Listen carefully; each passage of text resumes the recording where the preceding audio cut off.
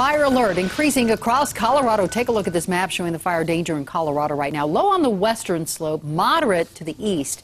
By next Monday, the Rocky Mountain Area Coordination Center predicts all but the high country will be at high and even extreme risk for fire. 7 News reporter Tyler Lopez live at Rocky Mountain Metropolitan Airport. Tyler, Colorado is now a top national firefighting priority. Tankers are already here. That's right, and it's a sight you don't normally see till May or June planes sitting on the tarmac, but of course it's been an atypically dry month, and fire watchers tell me they are worried about the weekend.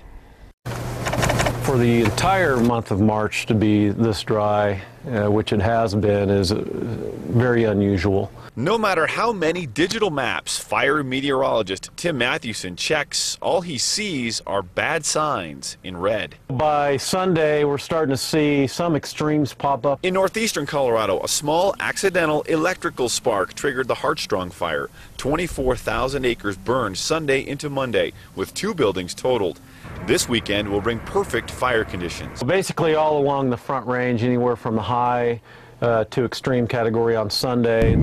As the wind whips on Wednesday, one of only a handful of large firefighting air tankers in the southwestern U.S. now sits on standby in Colorado. We're starting to see a lot of fire activity, so we just want to make sure we have the resources here. Including Yuma County, we've had 15 large wildfires across the Rocky Mountain West in just the past two weeks. Air assets don't put fires out, firefighters do. However, they're a great tool, and if you, but they have to be applied at the right time. So having this aircraft here with a quick response time is going to help those firefighters on the ground get those fires out.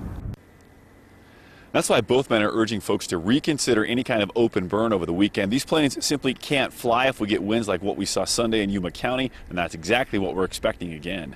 Live in Broomfield, Tyler Lopez, 7 News. All right, Tyler, thanks.